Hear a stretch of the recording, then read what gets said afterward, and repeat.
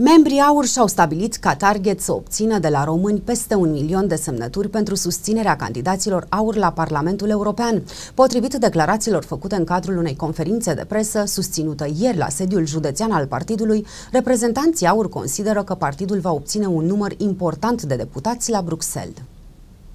Am început într-adevăr în forță strângerea de semnături pentru candidații AUR la alegerile parlamentare din 9 iunie iar pe data de 7 aprilie vom depune listele cu semnăturile strânse până atunci.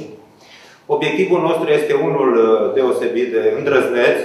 Vrem să adunăm un milion de semnături la nivelul României și chiar dacă este un obiectiv ambițios, cu determinare vom reuși să-l îndeplinim. Europa, așa cum ne-o dorim, trebuie să se întoarcă la normalitate.